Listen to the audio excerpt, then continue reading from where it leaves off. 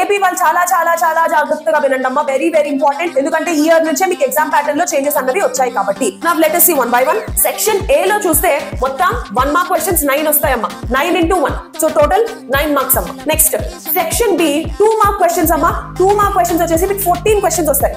So fourteen into two twenty eight మార్క్స్కి two marks next section C eight questions అమ్మా. తెలంగాణ వాళ్ళు just six questions మీరు eight questions రాయాలి. So section C is eight into four thirty two marks అమ్మా.